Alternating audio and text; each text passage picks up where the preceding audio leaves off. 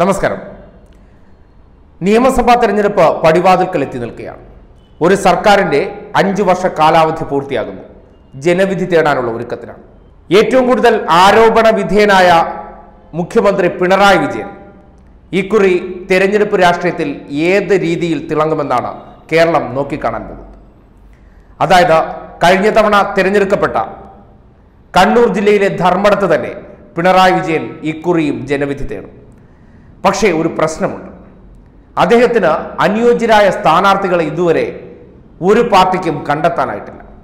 ധർമ്മടം എന്നത് ഇടത് കോട്ടയാണ്. ഒരുപക്ഷെ രണ്ടായിരത്തി എട്ടിൽ രൂപീകൃതമായ ഒരു മണ്ഡലമാണ് ധർമ്മടം എന്ന് പറയുന്നത്. ഇടക്കാട് മണ്ഡലവും തലശ്ശേരിയിൽ നിന്നും കുറച്ച് ഭാഗങ്ങൾ കൂട്ടിച്ചേർത്താണ് ധർമ്മടം എന്ന മണ്ഡലം രൂപീകരിച്ചത്. അതിനുശേഷം രണ്ടായിരത്തി പതിനൊന്നിൽ ആദ്യ തിരഞ്ഞെടുപ്പ് നടക്കുമ്പോൾ കെ കെ നാരായണനായിരുന്നു ഇടതുപക്ഷ സ്ഥാനാർത്ഥിയായി അവിടെ മത്സരിച്ചത്. ആദ്യ തെരഞ്ഞെടുപ്പിൽ തന്നെ കോൺഗ്രസ് സ്ഥാനാർത്ഥി മമ്പറ ദിവാകരനായിരുന്നു. ആ തെരഞ്ഞെടുപ്പ് പൂർത്തീകരിക്കുമ്പോൾ കെ കെ നാരായണൻ പതിനാറായിരത്തോളം വോട്ടുകൾക്ക് അവിടെ നിന്ന് ജയിച്ചു കയറുന്ന ഒരു സാഹചര്യമുണ്ടായി അത് രണ്ടായിരത്തി പതിനാറിലെത്തുമ്പോൾ പിണറായി വിജയനാണ് ധർമ്മടത്ത് നിന്ന് ജനവിധി തേടാൻ ഇറങ്ങിയത്. ഭൂരിപക്ഷം മുപ്പത്തി ആറായിരത്തിന് മുകളിൽ. അപ്പോ പിണറായി വിജയന് കണ്ണൂരുള്ള സ്വാധീനം എത്രത്തോളം ഉണ്ടെന്ന് പതിനാറായിരത്തിൽ നിന്ന ലീഡ് നില മുപ്പത്തി ആറായിരത്തിലേക്ക് പോയി നിൽക്കുകയും എഴുപത്തിരണ്ടായിരത്തിൽ നിന്ന സി പി എമ്മിന്റെ വോട്ട് നില എൺപത്തി മൂവായിരത്തിലേക്ക് പോയി നിൽക്കുമ്പോൾ ധർമ്മടം എന്ന മണ്ഡലം സി പി എമ്മിനെ ഏത് നിലയ്ക്കാണ് കൈയഴിഞ്ഞും മനസ്സറിഞ്ഞും പിന്തുണയ്ക്കുന്നു എന്നുള്ള കാര്യത്തിൽ തർക്കമൊന്നുമില്ല അല്ലെങ്കിൽ ആശയക്കുഴപ്പമൊന്നുമില്ല. പക്ഷേ രണ്ടായിരത്തിൽ പതിനാറിൽ ജനവിധി തേടാനിറങ്ങിയ മുഖ്യമന്ത്രി പിണറായി വിജയൻ അല്ല. രണ്ടായിരത്തി ഇരുപത്തി ഒന്നിൽ ജനങ്ങളുടെ മുന്നിലേക്ക് ചെല്ലുന്നത്. അന്നുണ്ടായിരുന്ന ഇമേജ് അല്ല പിണറായിക്ക് ഇന്നുള്ളത്. അന്ന് പിണറായിക്കെതിരെ ഉണ്ടായിരുന്ന ആരോപണങ്ങളുടെ എല്ലാം മുനയൊടിഞ്ഞ അവസ്ഥയാണ്. നിരവധി ആരോപണങ്ങൾ പ്രതിപക്ഷം ഉന്നയിക്കുന്നുണ്ട്. സ്വർണക്കടത്ത് ലൈഫ് മിഷൻ അങ്ങനെ തുടങ്ങി ഏറ്റവും ഒടുവിൽ ലാവ്ലിൻ വരെ അദ്ദേഹത്തിനെതിരെ ആരോപണമായി ഉന്നയിക്കുന്നുണ്ട്. ഏറ്റവും കൂടുതൽ ജനം വെറുക്കുന്ന മുഖ്യമന്ത്രിയാണ് പിണറായി വിജയനെന്നും പ്രതിപക്ഷം പറയുന്നുണ്ട്. എന്നാൽ അങ്ങനെയുള്ള പിണറായി വിജയനെ നേരിടാൻ കോൺഗ്രസ് രംഗത്തിറക്കാൻ പോകുന്ന സ്ഥാനാർത്ഥിയാണ്. കഴിഞ്ഞ രണ്ട് തവണ അവിടെ തോറ്റ മമ്പറ ദിവാകരൻ തന്നെ ഇപ്പോൾ അറിയിച്ചിട്ടുണ്ട് എനിക്കിനി തോക്കാൻ വയ്യ ബലിയാടാവാൻ വയ്യ. തോറ്റു തോറ്റ് നാണം കെട്ടൊരവസ്ഥയാണ് എല്ലാ തവണയും ഒരു ബലിയാടിനെ അവിടെ കൊണ്ടുവരിക എന്നുള്ളതാണ് കോൺഗ്രസിന്റെ ആയിരുന്നാലും ബി ജെ പിയുടെ ആയിരുന്നാലും ലക്ഷ്യം.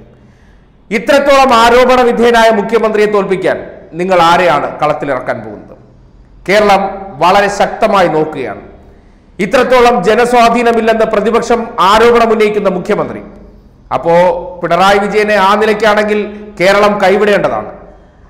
അത്തരത്തിൽ കേരളത്തെ ദ്രോഹിച്ചു എന്ന് നിങ്ങൾ ആരോപിക്കുന്ന മുഖ്യമന്ത്രിയെ നേരിടാൻ കോൺഗ്രസ് രംഗത്തിറക്കുന്ന സ്ഥാനാർത്ഥി ആരാണ് മമ്പ്ര ദിവാകരൻ ഇപ്പോൾ തന്നെ പറഞ്ഞു കഴിഞ്ഞു എനിക്ക് മത്സരിക്കാൻ വയ്യ എന്നുള്ള ഒരു മുഖ്യമന്ത്രി സ്ഥാനാർത്ഥിയായി സി പി എം ഇപ്പോഴും ഉയർത്തിക്കാട്ടാൻ പോകുന്നത് പിണറായി വിജയനെ തന്നെയാണ്.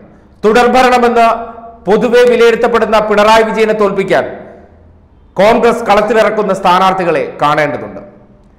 എതിർപക്ഷത്ത് മുഖ്യമന്ത്രി സ്ഥാനാർത്ഥിയായി പരിഗണിക്കപ്പെടുന്ന ആർക്കെങ്കിലും അദ്ദേഹത്തിനെതിരെ ധർമ്മടത്ത് മത്സരിക്കാൻ ധൈര്യമുണ്ടോ? അവിടെയല്ലേ തോൽപ്പിക്കേണ്ടത്? ജനം ഇത്രത്തോളം കൈയൊഴിഞ്ഞ അല്ലെങ്കിൽ ജനത്തെ ഏറ്റവും കൂടുതൽ ദ്രോഹിച്ച അല്ലെങ്കിൽ നിങ്ങൾ അധിക്ഷേപിക്കും പോലെ നിരവധി ആരോപണ വിധേയനായ പിണറായി വിജയനെ നേരിടാൻ കോൺഗ്രസിലെ കരുത്തന്മാർക്ക് ആർക്കെങ്കിലും ധൈര്യമുണ്ടോ എന്നുള്ളതാണ് ചോദ്യമായി ഉന്നയിക്കാനുള്ളത്. ബി ജെ പിയെ പിന്നെ അവിടെ ചിത്രത്തിലൊന്നും ഇല്ലാത്തതുകൊണ്ട് ആ കാര്യം ചോദിക്കുന്നില്ല. മുഖ്യ പ്രതിപക്ഷമായ കോൺഗ്രസ് തന്നെയാണ് ഇത്തരത്തിൽ നിരവധി ആരോപണങ്ങൾ നേരിടുന്ന മുഖ്യമന്ത്രിയെ നേരിടാൻ പ്രമുഖരെ കളത്തിലിറക്കുമോ എന്ന് കണ്ടറിയേണ്ടതുണ്ട്. ഒരുപക്ഷെ ധർമ്മടത്തിന്റെ മനസ്സിലിരിപ്പ് വെച്ച് പറയുകയാണെങ്കിൽ ഇത്തവണ പിണറായിയുടെ ഭൂരിപക്ഷം അൻപതിനായിരത്തോട് അടുത്താലും ഒരുപക്ഷെ അത്ഭുതപ്പെടാനില്ല. കാര്യം രണ്ടായിരത്തി പതിനാറിൽ മത്സരിക്കാൻ ഇറങ്ങിയ പിണറായി വിജയനല്ല ഈ രണ്ടായിരത്തി ഇരുപത്തിയൊന്നിൽ മത്സരിക്കാൻ ഇറങ്ങും രണ്ടായിരത്തി പതിനാറിൽ പറഞ്ഞിരുന്നത് നിരവധി അഴിമതി കേസുകളിലെ പ്രതി ധാർഷ്ട്യൻ ധിക്കാരി അത്തരത്തിൽ പല പല മേലങ്കികൾ അണിയിച്ചു കൊടുത്ത ഒരു നേതാവാണ് രണ്ടായിരത്തി ഇരുപത്തിയൊന്നിൽ പല സർവേകളും പറയുന്നു അദ്ദേഹത്തിന് എതിരില്ല എന്നുള്ള കാര്യം. ആ പിണറായി വിജയനെ നേരിടാൻ കോൺഗ്രസിന് ശേഷിയുണ്ടോ അല്ലെങ്കിൽ കോൺഗ്രസിന്റെ ആവനാഴിയിൽ ഇനി അസ്ത്രങ്ങളുണ്ടോ എന്നുള്ള ചോദ്യമാണ് കേരളം പരക്കെ ഇപ്പോൾ ഉയർത്തിവിടുന്നത്. ഇത്തവണ അരലക്ഷത്തോളം ഭൂരിപക്ഷം നേടിയാലും അത് കഴിഞ്ഞ അഞ്ചു വർഷം പിണറായി വിജയൻ എടുത്ത പണിയുടെ ഭാഗമാണ് എന്ന് മാത്രം കരുതുന്നതായിരിക്കും ഏറ്റവും ഉചിതം. അതായത് ധർമ്മടം മണ്ഡലം സി പി എമ്മിന്റെ ഉരുക്കുകോട്ടയെന്ന് അധിക്ഷേപിക്കുമ്പോഴും ഈ നാട്ടിൽ അദ്ദേഹം ഒരുപാട് ദ്രോഹ പ്രവർത്തനങ്ങൾ ചെയ്തു എന്ന് പ്രതിപക്ഷം ആരോപിക്കുമ്പോഴും ഭൂരിപക്ഷം അരലക്ഷത്തോടടുത്താൽ ആ വോട്ട് ചെയ്യുന്നത് മുഴുവൻ പാർട്ടിക്കാരാണെന്ന് പ്രതിപക്ഷം ധരിച്ചു കളയുന്നു. പിണറായി വിജയനെ പോലെ ഒരു മുഖ്യമന്ത്രി തുടർ ഭരണത്തിന്റെ സാധ്യത കൽപ്പിക്കപ്പെടുന്നത് എന്തുകൊണ്ടെന്ന് വെച്ചാൽ അദ്ദേഹം കഴിഞ്ഞ അഞ്ചു വർഷം എന്തൊക്കെ പ്രവർത്തനങ്ങൾ ഈ നാട്ടിൽ ചെയ്തുവോ അതിന്റെ ഗുണഫലങ്ങൾ ആർക്കൊക്കെ ലഭിച്ചുവോ അവരാണ് അദ്ദേഹത്തിന് വോട്ട് ചെയ്യാൻ പോകുന്നു എന്നുള്ളതാണ് സി പി എമ്മിന്റെ ഏറ്റവും വലിയ ആത്മവിശ്വാസം. പാർട്ടിക്ക് അവിടെ ഒരു തരത്തിലും കോട്ടം വരത്തില്ല അല്ലെങ്കിൽ പിണറായി പോലൊരു വ്യക്തിക്ക് കഴിഞ്ഞ തവണത്തെ ഭൂരിപക്ഷത്തിൽ നിന്ന് ഒരു വോട്ട് കുറയില്ലെന്ന് കടുത്ത ആത്മവിശ്വാസത്തിലാണ് ഇടത് ക്യാമ്പുകൾ. അപ്പോഴാണ് കോൺഗ്രസ് ഒരു പുതുമുഖ സ്ഥാനാർത്ഥിയെ അവതരിപ്പിക്കാൻ പോകുന്നു എന്നുള്ള വാർത്തകൾ കൂടി വരുന്നത്. മമ്പറ ദിവാകരൻ മത്സരിച്ചില്ലെങ്കിൽ കോൺഗ്രസിന്റെ ദേശീയ വക്താവായ ഷമ എന്ന പെൺകുട്ടിയെ മത്സരിപ്പിക്കാനാണ് ഇവർ തയ്യാറാകുന്നത്. മാഹി സ്വദേശിയാണ്. പക്ഷേ ഇപ്പോൾ പൂനെയിലാണ് താമസം. നേരെ ചൊവ്വെ മലയാളം പറയാൻ പോലും അറിഞ്ഞൂടാത്ത ഒരു കുട്ടിയാണ് കോൺഗ്രസ് പിണറായി വിജയനെതിരെ മത്സരിപ്പിക്കാൻ തയ്യാറാകുന്നത്. നാണമില്ലേ നേതാക്കളെ നിങ്ങൾക്ക്?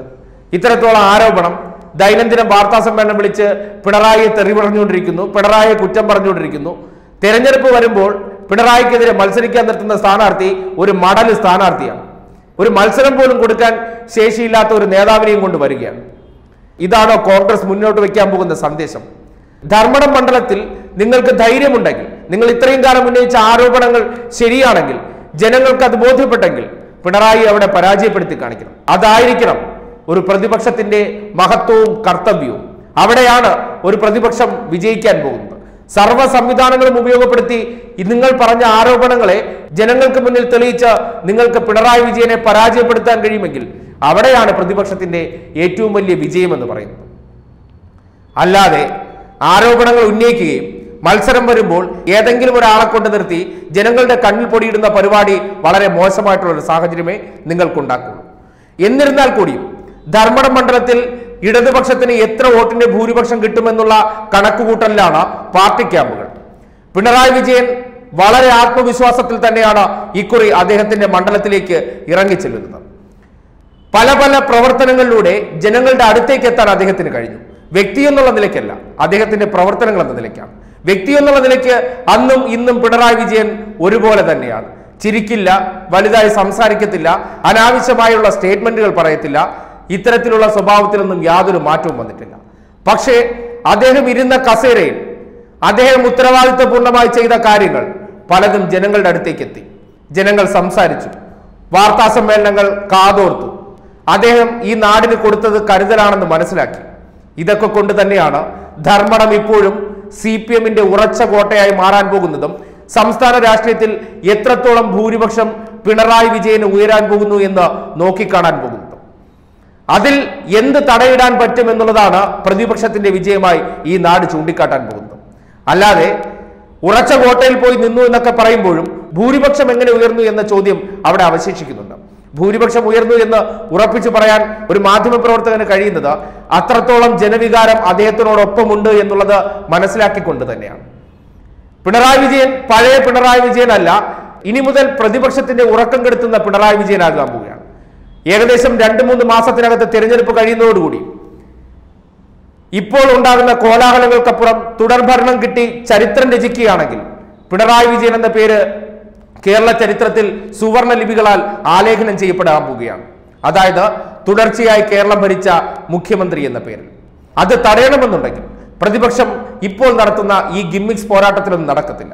കാര്യം നിങ്ങൾ പിടിക്കേണ്ടത് ഒരു വമ്പൻ സ്രാവിനെയാണ്. അതിനെ ഈ ചെറു ഹൂക്കുള്ള ചൂണ്ടയും കൊണ്ട് ചെന്ന് നടക്കില്ല എന്ന് പ്രതിപക്ഷം മനസ്സിലാക്കിയിരിക്കുന്നത് നല്ലതാണ്.